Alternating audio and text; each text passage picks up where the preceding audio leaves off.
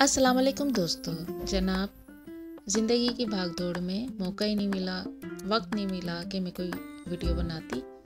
तो अब थोड़ा सा वक्त मिला तो मैंने ये पिज़्ज़ा बनाया था बच्चों के लिए तो सोचा इसकी वीडियो बना के डालूँ। ये सिंपल सा पिज़्ज़ा है, बहुत आसानी से बन जाता है। तो जनाब, इसके लिए मैंने पाँच मेजरिंग कप मैदा लिया है। मेजरिंग कप वाले जो कप होते हैं ना, उससे मैंने पाँच कप मैदे लिए हैं। मैदा लिया है, फाइन फ्लावर और इसमें एक साशे इंस्टेंट ईस्ट का डाला है। एक साशे इंस्टेंट ईस्ट का डाला है। खमीर का एक टीस्पून नमक डाला है। दो टीस्पून चीनी के डाले हैं। दो टीस्पून चीनी के डाले हैं और जनाब ये पाँच टीस्पून मैंने ऑयल के डाले हैं। ऑयल आप थोड़ा सा और भी ले सकते हैं, ज़्यादा ले सकते हैं। एक अंडा डाला है, ये ऑप्शनल है। इस इसको ज़रूरी नहीं है डालना स्किप भी कर सकते हैं, इसके बगैर भी बहुत अच्छी डो तैयार हो जाती है। नॉर्मल पानी से मैंने इसको नरम सी एक डो बना ली है, आप इसको दूध के साथ भी गूंद सकते हैं और इसके अंदर मिल्क पाउडर भी डाल सकते हैं। लेकिन इस तरीके से भी बड़ा अच्छा बन जाता है। तो जरा मैंने नॉर्मल पानी से इसको, सादा पानी से इसको नरम सा गूंद लिया है। इसको गूंदते हुए जब हाथों पे ही चिपकने लगता है तो थोड़ा सा ऑयल हाथ पे लगा लगा के इसको गूंदें ये बिल्कुल सही रहता है। ठीक है, आपको परेशानी नहीं होती किसी किस्म की। थोड़ा सा ऑयल लगा लगा के इसको गूंद लें और अच्छी तरह से गूंदने के बाद, तकरीबन 10 से 12 मिनट गूंदने के बाद आप इसको रेस्ट के लिए रख दें, तकरीबन एक घंटे में भी ये राइस हो जाता है, डेढ़ दो घंटे में तो और बहुत अच्छा हो जाता है। लेकिन मेरे बच्चों ने खाना नहीं खाया था इसके शौक में, कि पिज़्ज़ा बन रहा है, हम तो पिज़्ज़ा ही खाएँगे डायरेक्ट तो जनाब, मैंने ये आधे घंटे में ही इसको निकाल लिया था। जनाब, इसको ढक कर रख दें।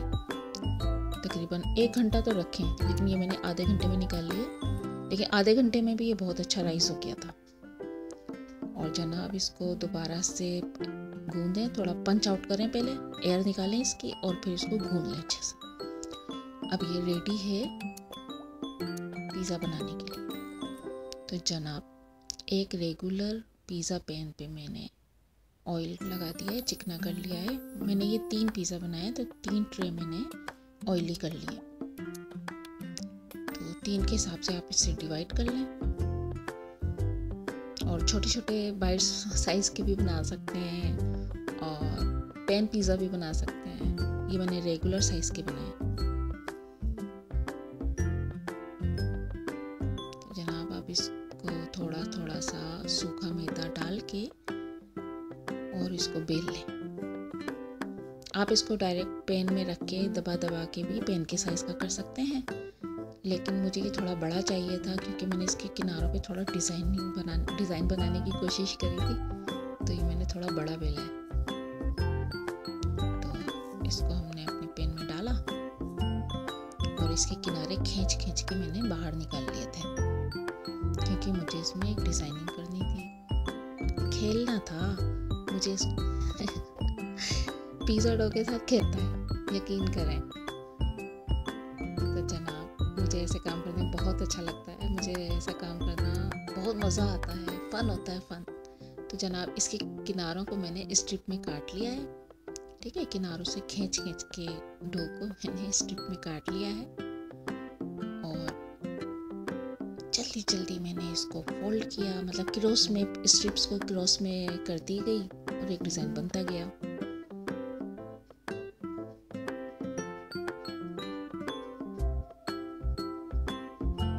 तो बच्चे बहुत खुश होते हैं जब कोई नई चीज़ देखते हैं ना।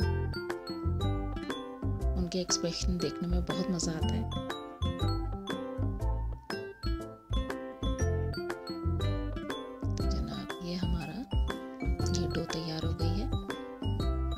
सॉरी पिज़्ज़ा का क्रस्ट तैयार हो गया है। ठीक है, अब इसके ऊपर पिज़्ज़ा सॉस फैला दें।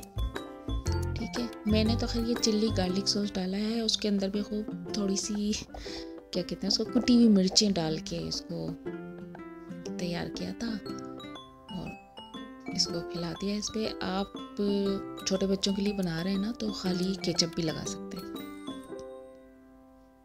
और जनाब ये चिकन के चंक्स डाल दिए हैं। ठीक है इसको मैंने नॉर्मल सा चिल्ली सॉस सोया सॉस सिरका वगैरह डाल के फ्राई कर लिया था।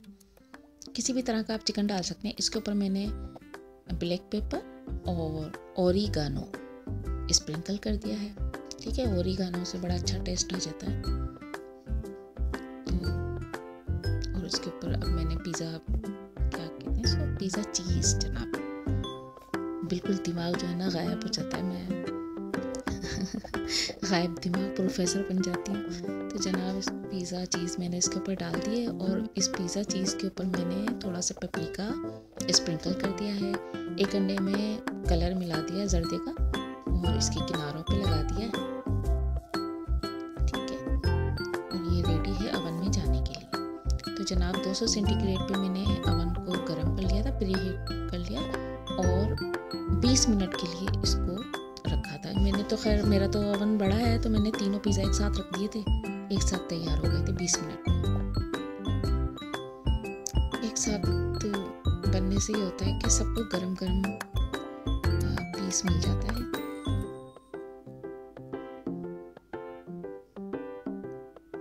ये दूसरा वाला पिज़्ज़े को मैंने कांटे से जो है दबा दबा के डिज़ाइन बना लिया था। ये जनाब 20 मिनट हमारा तैयार खाने के लिए तो जनाब चैनल को सब्सक्राइब करना नहीं भूलिएगा और दुआ में याद रखिएगा। मिलती हूँ अगली अच्छी सी रेसिपी के साथ। तब तक के लिए अल्लाह हाफिज़। इंजॉय करें।